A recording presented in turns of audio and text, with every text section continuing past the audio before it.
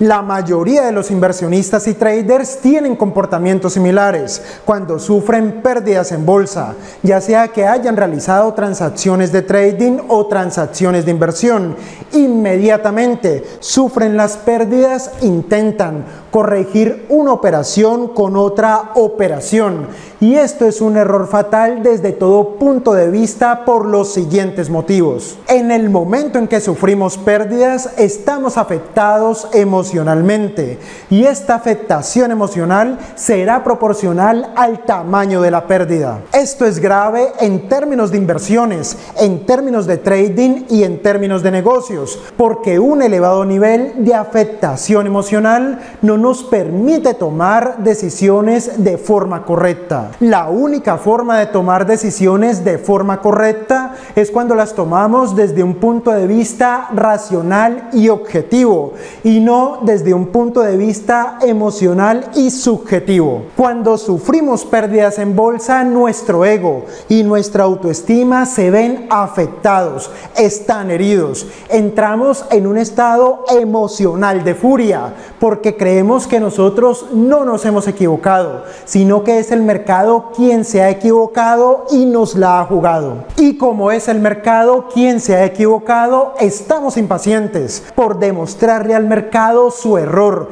y también estamos impacientes por demostrarnos a nosotros mismos y a quien tengamos al lado lo inteligentes que somos. Es una lucha interna por demostrar que es el mercado y no nosotros quien se ha equivocado. Y mientras esa lucha interna se resuelve, perdemos todo nuestro dinero. Observen que en la mayoría de las ocasiones los inversionistas y traders no pierden todo su dinero porque no sepan lo que hacen, sino porque no saben cómo controlar sus emociones y su ego. ¿Qué haría en circunstancias normales el gerente de cualquier otro negocio si el producto salido de la fábrica tiene un error o tiene tiene un defecto. Lo que haría cualquier gerente en cualquier otro negocio sería pararlo todo, entender claramente dónde está el error y qué provoca el defecto, corregirlo y a partir de allí reiniciar la producción de forma correcta. A este gerente, ¿qué rayos le va a interesar continuar produciendo si probablemente el error se va a repetir? Esto es precisamente lo que tiene que hacer todo trader e inversionista cuando sufre pérdidas. Nosotros somos los gerentes de nuestro negocio. Tenemos que tomar distancia, entender claramente dónde nos hemos equivocado y por supuesto corregirlo. Parar y no continuar hasta encontrar el error y corregirlo tiene otro beneficio para los inversionistas y para los traders.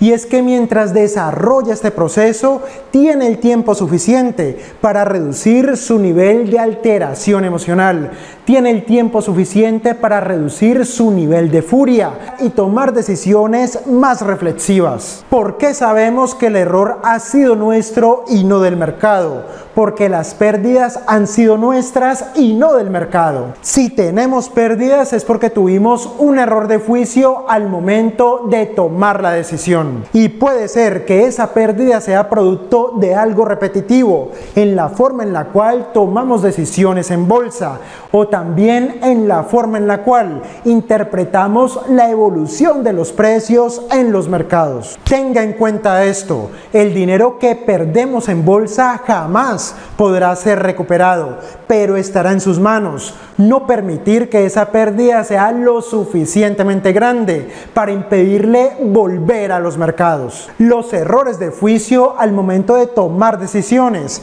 de trading o de solo se pueden corregir con mayor educación financiera. Tal vez alguien que le puede servir de mentor sabe algo que usted no sabe. Hasta pronto.